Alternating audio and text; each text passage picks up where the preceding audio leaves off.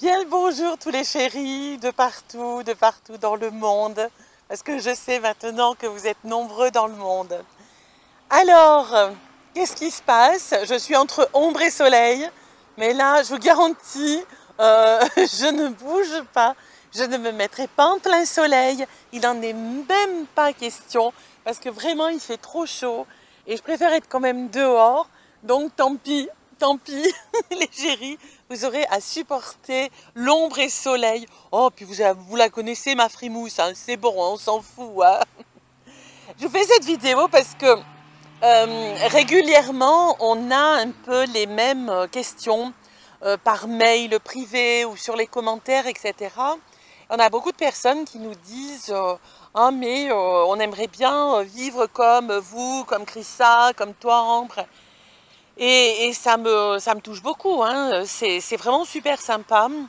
Et euh, à chaque fois, je, réponds euh, dans le commentaire euh, noir sur blanc. Mais là, je vais faire une espèce de réponse générale à, plein de choses. Et je vous invite vraiment à aller voir les nomades tuto. Il n'y en a pas des tonnes hein, que, que j'ai réalisées dans lesquelles je réponds à pas mal de choses. Alors, tout d'abord, par rapport à la vie à temps plein on va dire, en nomade. Alors euh, oui, ça vous fait rêver, ça vous fait... Mais ça vient aussi, il ne faut pas vous, vous méprendre, ça vient aussi du caractère de Chrissa et de moi. Parce que des emmerdes, on en a. Euh, bien sûr, on a beaucoup, beaucoup plus de joie euh, dans cette vie que d'emmerdes. Et heureusement, sinon, on ne la garderait pas. seulement, même si ce sont des joies, euh, peut-être que ça peut ne pas te plaire à toi, ça peut ne pas convenir à toi si tu es seul, ça peut ne pas convenir à ton couple, parce que vivre dans si peu de mètres carrés, de mètres cubes, euh, c'est pas évident à deux, même si on s'aime, même si on est euh, très très très amoureux. Et puis, et puis euh, il faut quand même de la place chacun avoir un minimum d'autonomie, bah, c'est comme ça que j'entends euh, le couple. Euh, oui, je suis restée en couple quand même pas mal d'années, donc je sais de quoi il en retourne. Et euh, les hommes avec qui j'ai été en couple avaient leurs propres activités, avaient leur propre rythme des fois, qui n'était pas le mien, ou pas toutes les mêmes activités que moi. Il y a des choses que j'aimais faire seule, ou que lui aimait faire seul. Donc ça, ça, il faut quand même y penser parce que dans si peu de mètres cubes, ça peut être un peu, hmm, un petit peu compliqué. Voilà. Donc, euh, moi, ce que je dis, je vous redis tout le temps, moi, je vous invite vraiment à, tester, à tester une fois, dix fois, vingt fois. Ça peut être en caravane, ça peut être en camping-car, ça peut être en fourgon, ça peut être en n'importe quoi. Mais surtout, il faut tester avant de dire cette vie, elle est pour moi. Parce qu'il y a plein de choses auxquelles on ne pense pas. En plus, tester quoi? Ben, c'est le rythme de vie qui est, euh, euh, comme tu l'as vu dans, une vidéo, je t'ai fait les réveils de l'imprévu. Euh, j'avais voulu marquer quand même que dans chaque journée, il y avait plein de petites choses qui pouvaient arriver. Il y a plein de choses du quotidien qui peuvent ou qui doivent être faites. Donc, c'est pas la routine que l'on connaît en étant sédentaire. Est-ce que tu es prêt? Est-ce que tu es prête à avoir ces imprévus? Il y a aussi une chose, euh, ça aussi j'en ai déjà parlé, j'en reparle encore, et plus je rencontre des camping-caristes que ce soit des vacanciers, que ce soit, on va dire, des longues durées qui, restent peut-être 4 mois, 5 mois euh, à l'étranger pour le soleil, etc., ou des gens comme moi qui sont euh, full-timers, euh, c'est-à-dire qui vivent toute l'année en camping-car ou en van, en fourgon, peu importe, hein, dans leur maison à roulettes. C'est surtout ça. Il est pas impossible, mais très, très, très compliqué d'avoir des horaires fixes. Vraiment, c'est compliqué. À moins que tu poses ta maison à roulettes à un endroit et que tu te dises, c'est bon, je me pose ici pour X temps et je vais faire de telle heure à telle heure. Il y a des personnes qui le font puisqu'elles vont travailler, elles ont des heures de, de travail, par exemple, elles sont salariées ou autres. Mais c'est une vie nomade un petit peu particulière. Et c'est quand même compliqué. Donc, c'est-à-dire qu'avec ta maison à roulettes, eh ben, tu n'utilises pas tes roulettes pendant pas mal de temps. Voilà. Donc, pense-y si tu veux vraiment faire comme Chrissa et moi, c'est-à-dire bouger régulièrement. Avoir des horaires, c'est compliqué. Mais ça, ça fait partie d'un point de détail parmi d'autres. Hein. Euh, excusez, j'ai tourné la tête, parce qu'il y a des camping-cars hein, qui vont, qui viennent. C'est normal. Vraiment, teste, teste-toi sur une longue période. Je sais que la location euh, de, de fourgons, la, la, location de camping-car, etc., ça peut te sembler cher, mais franchement, ça vaut le coup. Par contre, si tu peux euh, conduire une caravane, tu peux aussi louer une caravane. Euh, c'est pareil, hein, c'est la vie nomade, c'est la même, pour moi, c'est la même vie nomade. Après, c'est au niveau euh, technique, comment on positionne une caravane, que c'est complètement différent d'un camping-car ou d'un fourgon, c'est tout. Mais j'insiste là-dessus, on vous fait envie, oui, oui, oui, j'en suis, mais la première heureuse, euh, c'est pas que j'ai envie de vous convertir, mais, mais tant mieux si, ça vous plaît, quoi, parce que moi, cette vie me plaît et j'aime bien être contagieuse dans le positif. Hein. voilà. Oh, sinon, au niveau de, de l'argent, parce que je vais reparler de l'argent, dans un des hum, nomades tuto, euh, je vous ai fait plusieurs vidéos sur l'argent euh, à prévoir. Euh, il faut aller sur Tipeee, je sais, ça y est, vous allez hurler, mais euh, allez sur Tipeee si vous voulez vraiment aller à fond dans, dans ce travail que, que j'ai fait, parce que sur YouTube, on ne peut pas mettre de PDF, et donc sur Tipeee, j'ai mis le PDF, c'est-à-dire c'est un tableau récapitulatif de tout ce que j'ai dit dans les vidéos, à compter au minimum ou au maximum dans les frais. Alors, bien sûr, il y a tout. Et euh, c'est pour ça que hum, c'est très important de le faire individuellement, personnellement. Parce que, encore une fois, vous êtes euh, nombreux à demander régulièrement combien a coûté Foxy, combien a coûté Coquelicot. Mais à quoi ça sert qu'on vous réponde? Quand vous dites qu'on les payé 20 000 euros ou quand vous dites qu'on les payé 100 000 euros, mais quelle importance? C'est de la curiosité, bon voilà, mais c'est simplement de la curiosité, mais c'est pas ça qui va faire avancer ta propre vie. Toi, il faut que tu te dises, voilà, par mois, je peux sortir, je sais pas, euh, je peux euh, budgéter 400 euros par mois pour payer mon, mon ma maison à roulettes. Peut-être que tu ne pourras mettre peu, beaucoup moins, peut-être parce que tu as une location parallèlement.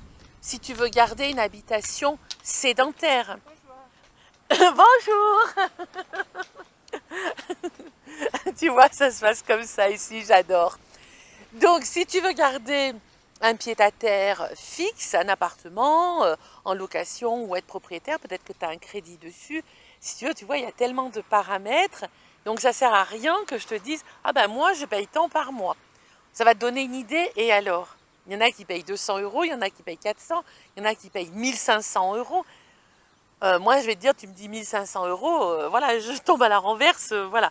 Mais en tout cas, je n'ai pas envie que tu te bloques pour des histoires financières.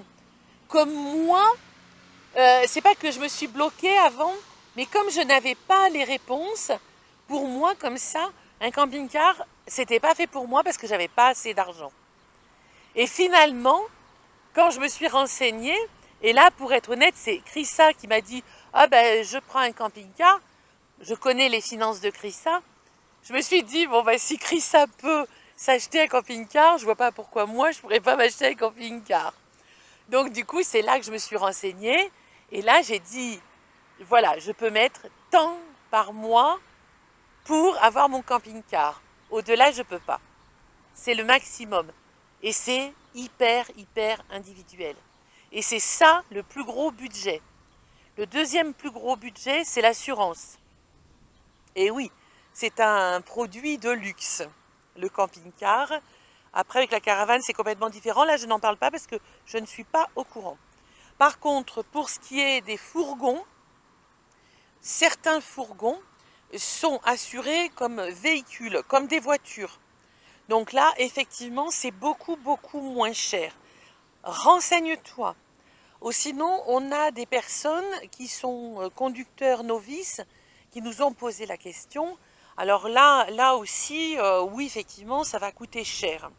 Mais euh, bon, il y a Euro Assurance éventuellement qui assure pour les camping-cars. Bon, moi, je suis à la MMA. c'est pas mal non plus. Ça casse pas trois pattes à un canard, mais bon, c'est comme ça.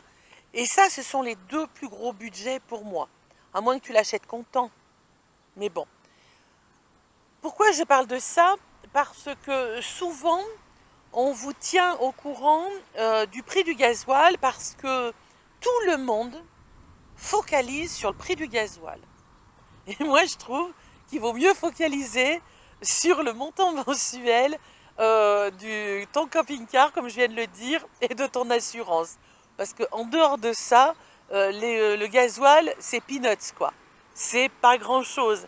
Alors on le sait, alors ouais, ouais, bien sûr, on le sait. En France, c'est un des pays les plus chers. Mais ça sert à rien que je vous dise le combien, etc., parce que ça change tout le temps. Hein. Donc c'est un peu délicat. Bon, c'est un des pays les plus chers. Après, vraiment dans les plus chers, il y a la Norvège, la Finlande, qui eux euh, sont vraiment au sommet euh, de, l'échelle du prix euh, du gasoil. Donc eux sont vraiment excessivement chers. En Hollande aussi, euh, c'est très cher. Ensuite, il faut savoir que tout ce qui est euh, Portugal, c'est un peu moins cher. Mais par contre, on tombe vraiment dans les prix. C'est Espagne, Italie, Allemagne, Autriche aussi, où c'était pas trop cher. Mais, mais, ça peut devenir un tout petit, petit budget si tu ne roules pas je ne sais pas, 400, 500 km par mois. Tu vois ce que je veux dire? Si tu fais que, je ne sais pas, 200 km par mois, encore une fois, là tout de suite ça devient moins cher. Quand je t'ai dit, par exemple, moi je consomme entre 9 litres et demi, 10 litres maximum au 100 pour 100 km, tu vois tout de suite ça, on relativise le prix du gasoil et ça devient tout de suite le sujet un peu moins important, un peu moins cher par rapport, encore une fois, à cette bon sens de mensualité et cette assurance. Surtout, surtout l'assurance. Tu vois ce que je veux dire? Donc quand vous nous demandez et le gasoil, etc., et oui, on a l'habitude, alors du coup on vous dit le, prix du gasoil régulièrement. Bah tiens, j'ai trouvé à 1,15€, euh, puis euh, Chrissa a trouvé à 1,17€ ou elle a trouvé moins cher. Ça fait partie de nos habitudes, mais encore une fois, c'est pas pas le sujet le plus important. Tu vois, actuellement, là, je suis, euh, je suis arrêtée. je vais rester arrêtée, je pense, au moins deux semaines. Gasoil, ça me coûte rien. Par contre, il faut que je continue de payer mes mensualités. Tu vois, donc ne, focalise plutôt combien je peux mettre par mois et est-ce que je suis vraiment fait pour cette vie de nomade. Voilà, je pense que ce sont tous les sujets importants. Après, euh, qu'est-ce qu'il y a d'autre? Ah oui, il y a l'eau. Alors, je, je n'ai pas beaucoup euh, réagi pour l'instant par rapport à l'eau. Et c'est vrai que c'est un sujet qui est très, euh, qui est très important. ça devient un, sujet fondamental quand on est itinérant, quand on est nomade, parce que bah, est limité. Et euh, je, vois que beaucoup, beaucoup de gens font la distinction entre les deux eaux que l'on utilise. La première, c'est pour tout ce qui est évier, lavabo, douche. Et la deuxième eau, et c'est celle que l'on consomme, que l'on boit. Alors, j'ai pas vraiment euh, approfondi euh, ce sujet jusqu'à présent parce que j'avais besoin de, prendre du recul et de l'expérience. Et euh, c'est vrai que l'eau que je mets dans mon réservoir général euh, du camping-car, j'ai pas envie de la boire parce que ça, reste un peu dans, dans, la réserve. Oui, il y a du mouvement, mais ça reste quand même dans la réserve. Et c'est vrai que ça ne me fait pas envie de la boire. Par contre, je ne fais pas comme beaucoup, beaucoup de gens font, c'est-à-dire acheter des bouteilles d'eau. Alors ça, c'est un truc, je n'aime pas. Je n'aime pas l'eau en bouteille, euh, j'aime pas le goût qu'elle a, ça ne m'intéresse pas, je sais pas. Bon, c'est comme ça. Euh, il y a beaucoup, beaucoup de gens qui achètent tout le temps, tout le temps, tout le temps de, l'eau hein, à boire, plate. Encore une fois, c'est une histoire de choix. Hein. Euh, par contre, moi, je peux dire, là, maintenant, après un peu plus d'un an, euh, je bois de l'eau de partout. J'ai bu de l'eau dans des endroits qui feraient peur euh, aux personnes qui boivent de l'eau en bouteille et qui me disent oui mais t'as pas peur des bactéries, des machins, des ci, des là. Je ne sais pas trop tout ce qu'on me, qu'on me dit tellement on peut m'en dire. Eh ben non, j'ai pas peur. Mais non, non, pas du tout. je me souviens, il y a un endroit euh, où c'était une ancienne gare, où il y avait une source, l'eau euh, coulait directement.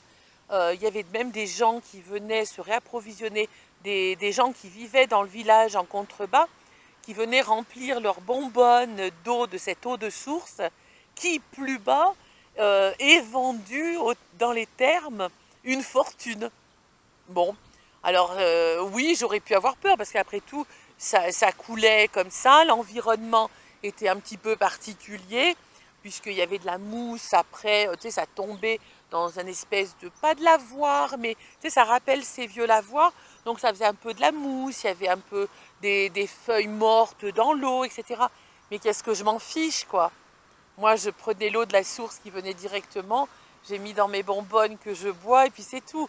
Euh, je me suis arrêtée dans un village en Autriche, euh, au, bord, au bord de la route, il y avait une fontaine, Bon, bah, je me suis réapprovisionnée pour mon eau à boire dans la fontaine. Euh, mais de partout, j'ai bu de l'eau comme ça. Et euh, je peux toucher du bois peut-être. Euh, non, je n'ai jamais, jamais, jamais été malade. Donc non, je n'ai pas de budget bouteille d'eau en plastique. ça, c'est vraiment un truc. Ah, c'est rigolo parce que d'un côté, beaucoup de personnes disent ouais, le plastique, le plastique, le plastique. Et puis d'un autre côté, vous achetez des bouteilles en plastique. Bon, après chacun fait ce qu'il veut. Moi, c'est pas moi qui vais dire c'est bien, c'est pas bien. Euh, honnêtement, je m'en fous. je m'en fous. Les gens, ils font comme ils veulent.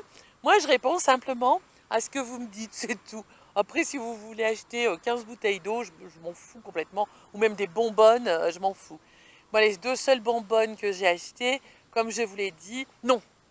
La première, je ne l'ai pas achetée c'est un couple, euh, c'est un couple d'Espagnols qui me l'a donné parce que j'étais un peu euh, juste en eau euh, à boire. Et la deuxième, oui, je l'ai achetée à Lidl parce que, comme je t'ai dit, je veux la laisser au soleil quand j'irai me baigner. Ça va me servir d'eau chaude, naturelle, pour me laver les pieds avant de rentrer. Mais sinon, voilà, j'ai ma bonbonne de 6 litres d'eau à boire que je remplis de partout. Alors après, peut-être que tu as des problèmes de santé, peut-être que tu as des problèmes de ci, des problèmes de ça. Bon, ce que je comprends, hein, ce que je comprends, ou des appréhensions. Mais en tout cas, voilà, moi, mon sujet sur l'eau, voilà, je la bois n'importe où. Euh, tu vois bien, quand on était en Autriche avec Chrissa, euh, on est tombé à sec aussi d'eau. Et eh ben, euh, avec Chrissa, tu avais expliqué dans une vidéo Bon, on a collecté l'eau, euh, oui, on l'a fait un peu bouillir. Il faut savoir que rien que de la faire bouillir, si tu as peur et que tu la fais bouillir pendant 10 minutes, c'est terminé. Euh, il n'y a plus de bactéries, il n'y a plus rien. La majorité des, poisons qui pourraient te, nuire euh, sont, sont trucidés. quoi. C'est-à-dire que tu trucides à 99% tout, tout ce qui pourrait te nuire. Après, tu, vois toi-même, mais je trouve quand même... Enfin bon, j'aime pas les bouteilles en plastique. je pense que c'est clair. Je pense que c'est clair. Et en tout cas, c'est pas le budget qui va te coûter le plus, même si tu achètes des bouteilles. Là, tu vois, on a même des, éviers à disposition. Euh, l'eau qui coule est presque tiède parce que je ne sais pas d'où elle vient, elle vient sûrement de la montagne hein, ou je ne sais pas d'où. Elle est presque tiède, mais je m'en fous. Je vais remplir euh, mes bouteilles, je fais aussi régulièrement mon linge euh, là-bas. Et, ça va très bien, je me porte bien. Tout va bien dans le meilleur des mondes. Donc ça, c'est pas le souci du tout, du tout, du tout. Passons maintenant à la nourriture. Et oui, parce que ce sont des petits sujets comme ça que l'on aborde parce que vous nous faites des remarques, vous nous dites des choses. Et, c'est vrai que moi aussi, euh, je suis spectatrice de vous, de, vos comportements, de vos vies, etc. Et c'est pour ça que, que, je viens maintenant en, reparler, euh, parce que Chrissa et moi, nous en avons parlé. Et là, maintenant, ben, moi, je parle de vous, parce que c'est rigolo. Alors, euh, beaucoup de, de, nomades amènent énormément, énormément de nourriture euh, dans, dans, leur maison à roulettes, euh, des conserves, plein, plein, plein de bouteilles, etc., pour franchir les frontières. Alors ça, c'est une chose que je ne comprends pas. Ça aussi, c'est une chose que je ne comprends pas. que tu amènes le saucisson, machin, truc muche, que tu amènes, allez, deux, trois boîtes de foie gras parce que tu ne peux pas te passer de foie gras, c'est vrai que ça me manque. C'est vrai que ça me manque.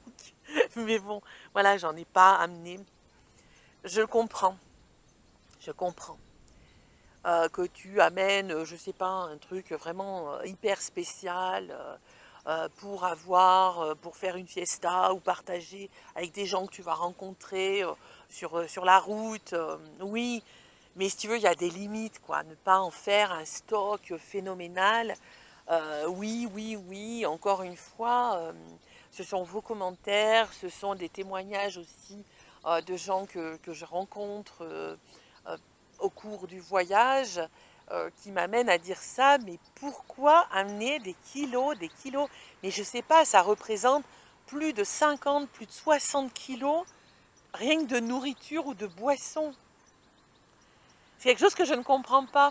Si tu vas dans un pays étranger, tu passes la frontière, enfin, je ne sais pas ce que ça représente pour toi, mais si c'est pour être comme chez toi, dans ces cas-là, bah reste en France. C'est un, truc, je, voilà, je ne comprends pas. Bon, c'est sûr que si aujourd'hui euh, j'avais une petite boîte de foie gras, je me dirais, bah tiens, ouais, je suis vachement contente, euh, allez, on va se faire plaisir, on va se l'ouvrir, voilà. Bon, l'autre fois, je te parlais du camembert, euh, je rigolais parce que finalement, euh, je suis allée dans un Lidl et le camembert, il est excellent aussi. Euh, la marque Chaîne d'Argent, euh, c'était très bien. Et hum, quand tu vas à l'étranger, est-ce que ça n'est pas justement pour découvrir les choses étrangères, dont la nourriture? Et dans, dans tous les pays que nous connaissons, alors bien sûr, on peut toujours trouver les extrêmes. Hein. Ah oui, si tu vas au cœur de l'Afrique, euh, là, pour trouver à manger, tu vas avoir du mal. Mais déjà, il va falloir que tu trouves une solution pour trouver de l'eau. Ce sera quand même l'essentiel. Non, mais tu vois, je te taquine, mais est-ce que tu comprends ce que je veux dire, ma surprise?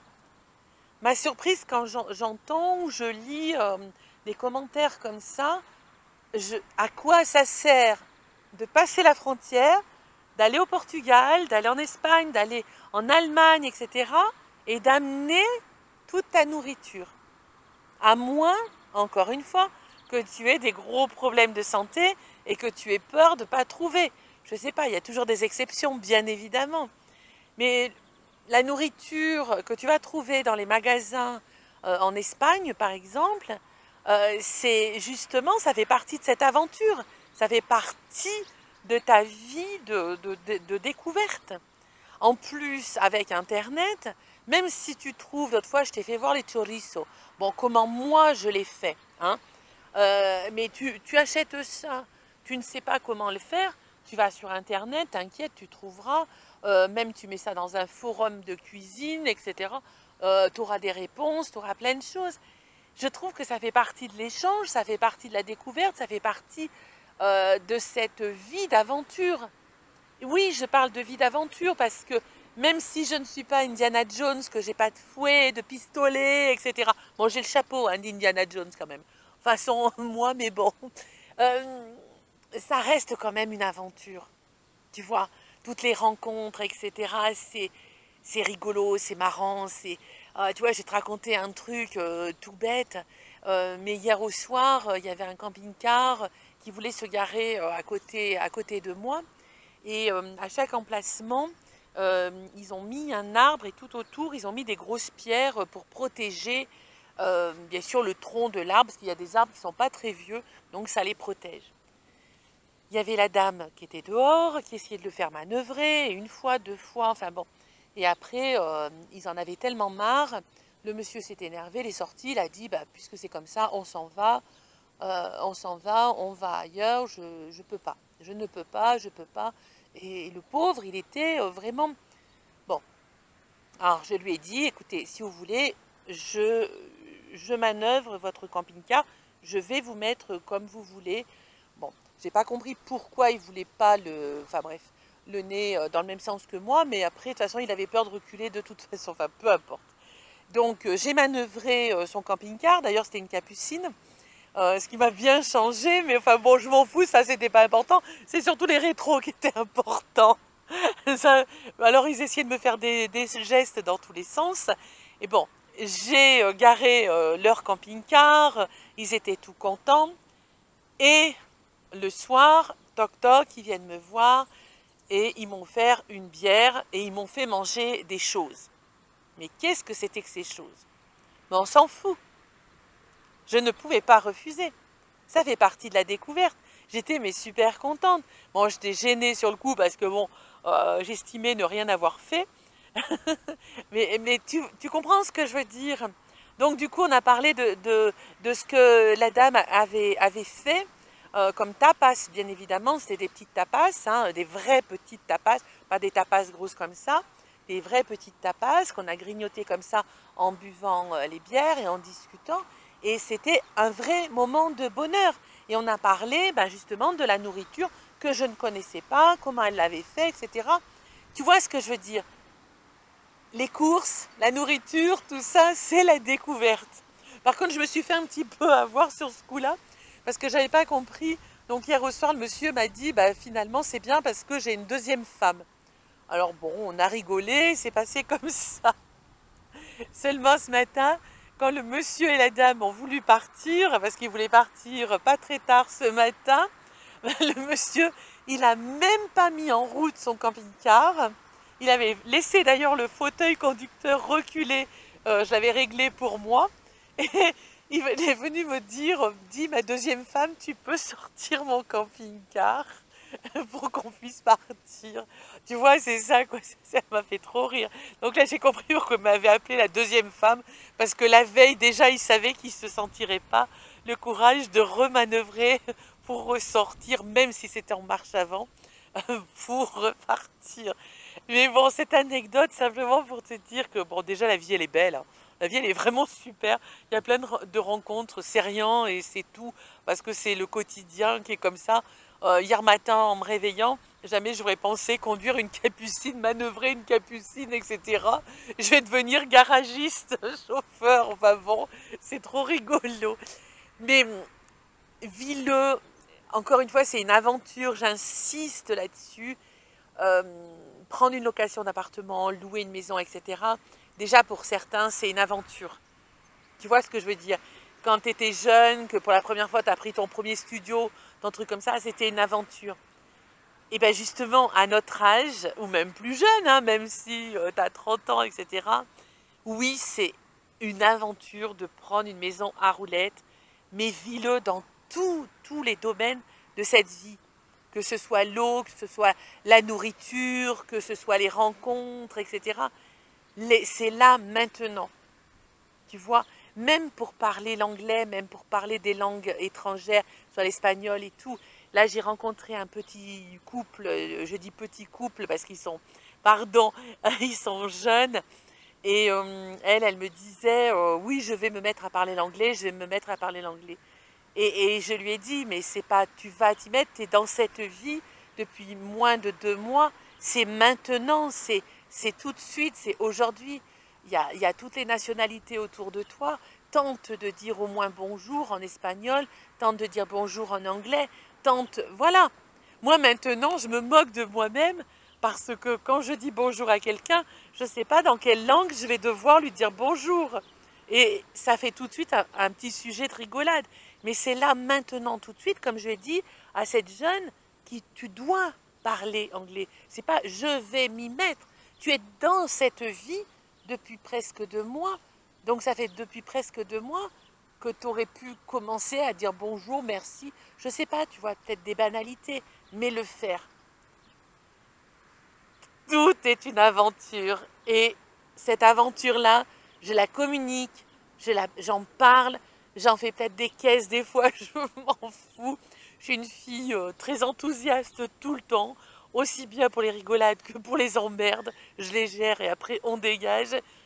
J'espère t'avoir fait comprendre plein, plein, plein de choses, surtout pour vous les novices et pour vous les anciens euh, nomades. Tentez de vous intégrer les Français parce que on a vraiment mauvaise réputation à cause des langues parce que les Français n'aiment pas parler autre chose que le français. D'accord? Ciao, ciao les chéris. Bye, bye.